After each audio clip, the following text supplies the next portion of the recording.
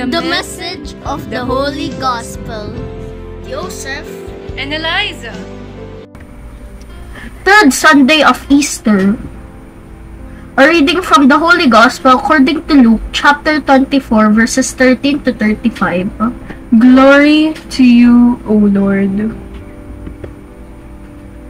Now that very day, two of them were going to a village seven miles from Jerusalem called Emmaus, and they were conversing about all the things that had occurred. And it happened that while they were conversing and debating, Jesus himself drew near and walked with them. But their eyes were prevented from recognizing him. He asked them, What are you discussing as you walk along? They stopped, looking downcast. One of them, named Cleopas, said to him in reply, Are you the only visitor to Jerusalem who does not know of the things that have taken place in these days? And he replied to them, What sort of things? They said to him, The things that happened to Jesus, the Nazarene, was a prophet mighty in deed and word before God and all the people. How our chief priests and rulers both handed him over to a sentence of death and crucified him. But we were hoping that he would be the one to redeem Israel. And besides all this, it is now the third day since this took place. So, some women from our group, however, have astound- astounded us. They were at the tomb early in the morning and did not find his body. They came, came back and reported that they had indeed seen a vision of angels who announced that he was alive. Then some of those with us went to the tomb and found things just as the woman had described. But him they did not see.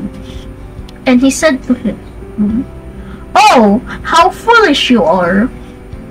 How slow of heart to believe all that the prophets spoke! Was it not necessary that the Messiah should su- suffer these things and enter to his glory? Then, beginning with Moses and all the prophets, he interpreted to them what referred to him in all the scriptures. So, as they approached the village to which they were going, gave the impression that he was going on further, but they urged him, Stay with us, for it is nearly evening and the day is almost over. So he went in to stay with them. And it happened that while he was with them at table, he took bread, said the blessing, broke it, and gave it to them. With that, their eyes were opened and they recognized him, but he vanished from their sight. Then they said to each other, Were not our hearts burning within us while he spoke to us on the way and opened the scriptures to us? So they set out at once and returned to Jerusalem, where they found and gathered together the eleven and those with them who were saying, The Lord has truly been raised and has been appeared to Simon. Then the two recounted what had taken place on the way and how he was made known to them in the breaking of the bread. The Gospel of the Lord. Praise to you, O Lord Jesus Christ. The road is long, the path is narrow, the journey is far from finished. The Gospel narrates a story of epiphany, an illuminating realization. It is an unplanned yet fortunate discovery. The two men who were walking were chatting about the current events, the death of Christ and his resurrection. More particularly, they were debating about whether or not Christ resurrected. They were wondering, did Jesus truly resurrect? Is he alive? Where would he be now? In spite of all the signs they saw, all the parables they knew, all the teachings they have heard, they had not seen Jesus' greatest miracle, which led them to suspect that the whole thing had been a mistake, a lie, a fraud. they began to suspect that there was no resurrection, no Jesus.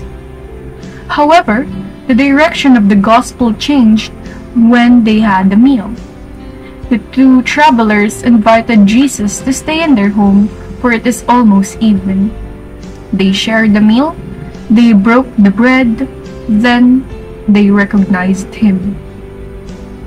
So, what could we learn from this? Many, many things, and one of them is hope.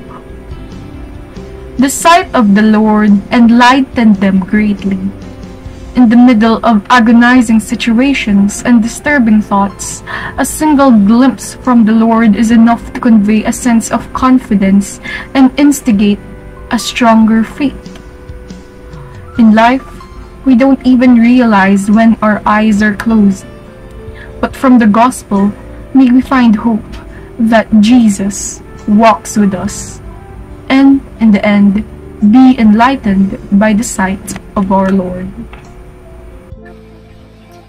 Thank you for watching. Don't forget to like, share, and subscribe. God bless. Bye!